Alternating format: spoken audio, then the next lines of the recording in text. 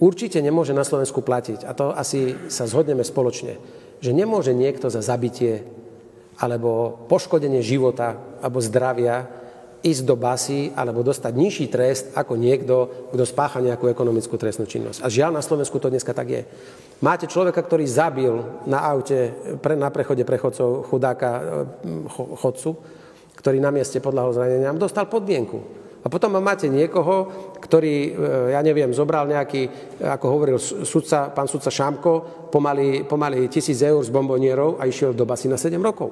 Na to takto nemôže fungovať. Preca o, zabitie, vražda, ohrozenie života, zdravia, e, znásilnenia, neviem čo, poníženie človeka musí byť podstatne horšie trestané ako nejaká ekonomická trestná činnosť. Ale ja vám poviem, ak by mne niekto niečo ukradol, a ja budem radšej, ak toho páchateľa chytia a odsúdia ho na podmienku, ale s tým, že mi musí to vrátiť, buď čo mi ukradol, alebo mi to musí zaplatiť, to, čo mi ukradol.